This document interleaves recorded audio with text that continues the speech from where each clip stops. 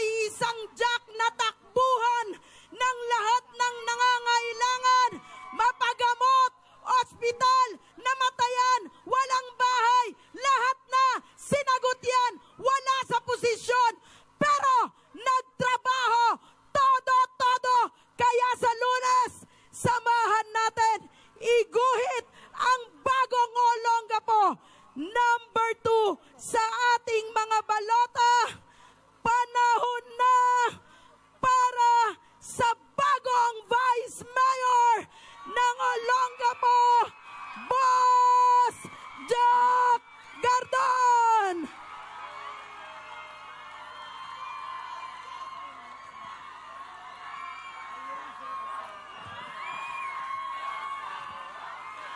Two joints! Two joints! Number two sa balata! Boss Jack Gardon!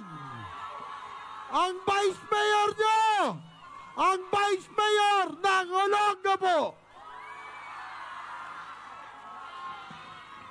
Tapusin na natin ang mga politikong walang silbi!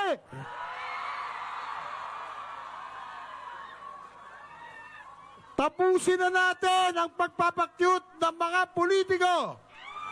Dito na tayo sa totoong may puso at malasakit.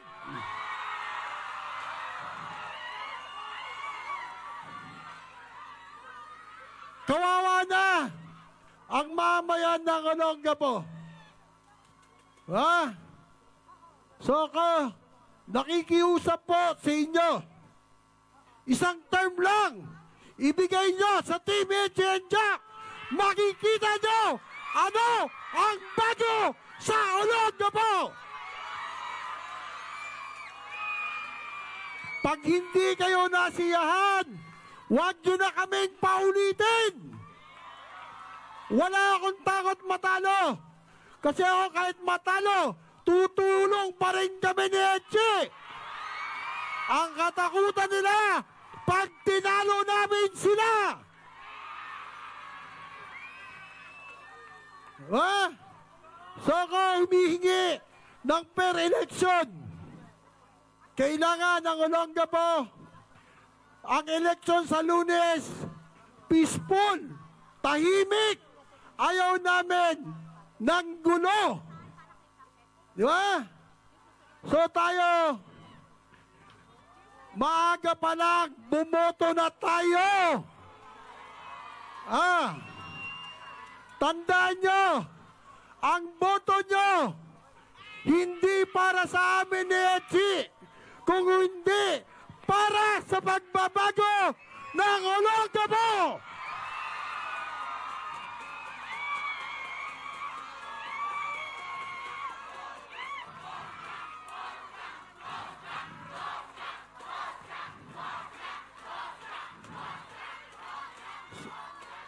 So, yun po yung gusto naming marinig ninyo. Kami napakasimpleng tao. Pero buksan mo man ang kalooban namin, may puso at malasakit para sa tao. Ha? So, tigilan na natin ang paniniwala na magagaling sila. Maraming magagaling na tao. Sumubok tayo ng bago. Alam nyo, pag hindi tayo sumubok ng bago, walang maiiba sa Olongapo kung hindi ilaw lang.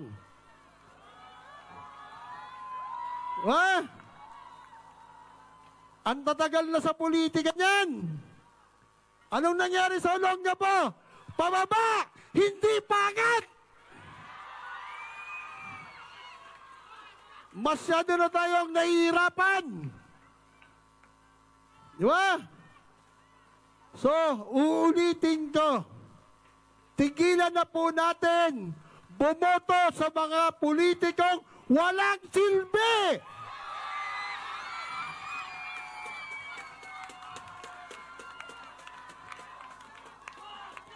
Ha? Yun lang po. Tumigil na tayo ng kaboboto ng walang silbing politiko. Ah, hindi tayo mabubuhay ng puro oo lang. Ang kailangan yung leader ay yung may malasakit sa inyo. Ang Team Jack, hindi papayag na magutom ang Olongapo. Ha? So ako kinakabahan. Sa nakikita ko, panalo na eh. Pero may kaba ako. Kinakabahan ako.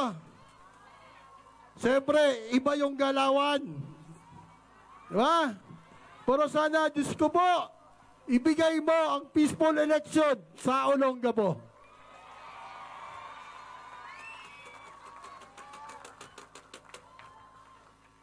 So, ang daming propaganda, ang daming naka, mahirap magkwento. At sabihin na naman, tirahan na naman. Huwag na. Ah, antayin namin kayo sa lunes. Kung ngayon ipinakita nyo yung suporta nyo, triplihin natin sa lunes ang suporta nyo sa team Echi and Jack. Magbantay tayo. Bantayan natin ang napakahalagang boto ng ating mga tao. Huwag tayong patakot. Huwag na huwag kayong magpatakot. No. Si Boss Jack, naka-ready akong protektahan lahat ng tao sa eleksyon. Wala dapat mangyaring hindi maganda. No. Itataya ko ang buhay ko para sa inyo.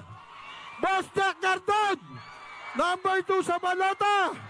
Ang mayor, ang vice mayor nyo, ang vice mayor ng Olongapo. Maraming salamat po at magandang gabi. Maraming maraming salamat sa inyo. Panalo na tayo!